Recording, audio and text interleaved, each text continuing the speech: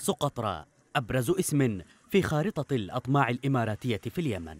كل يوم تبحث أبو ظبي عن فتنة جديدة في الجزيرة الهادئة والنادرة.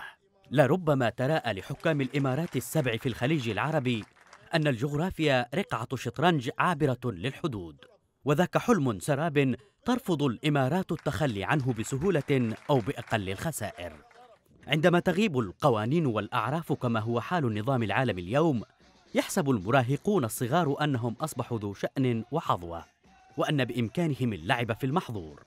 لكنهم ما يلبثون أن يدركوا أنه من الصعب تجاوز حقائق التاريخ والجغرافيا وأن الحق محمي بكونه حقا حتى وإن كان قليل الحيلة والقوة. ذاك بالطبع ما يحدث في الجزيرة اليمنية الراسية في المحيط الهندي التي تمكن محافظها هو والقوات الحكومية من السيطرة على معسكر القوات الخاصة الذي كانت تسيطر عليه ميليشيا المجلس الانتقالي المدعومة من الإمارات. هذا التطور المحسوم لصالح القوات الحكومية يعني أن الجزيرة ستدخل في طور آخر من المواجهة. فلا تزال قوات الانتقال تتواجد في الجزيرة وتتحين الفرصة ربما لفتح معركة جديدة.